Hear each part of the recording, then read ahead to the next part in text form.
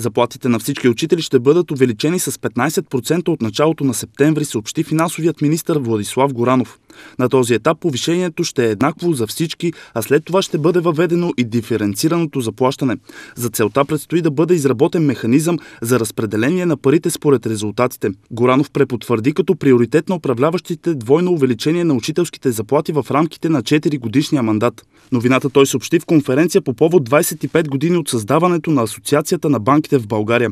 На нея финансовият министр отбеляза, че присъединяването на България към еврозоната е сред водещите приоритети за страната ни, а банките у нас са стабилни. От банковия сектор също определиха като цел влизането в еврозоната.